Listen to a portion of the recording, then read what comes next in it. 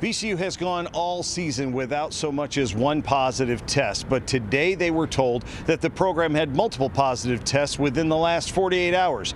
And Marion County health officials here in Indianapolis deemed it too risky for VCU to take the court against Oregon.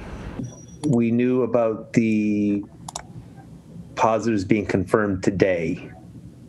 Um, and we were hoping through contact tracing that uh, we would still be able to play uh, tonight, um, but uh, obviously that did not happen. But given how um, how we had a, a, few happen within a the short period of time right now, um, there, there, was certainly concern not only for the rest of our team but uh, for the opponents and um, uh, and anyone else who you know be part of the of, of, the game. And it was devastating. It was heartbreaking.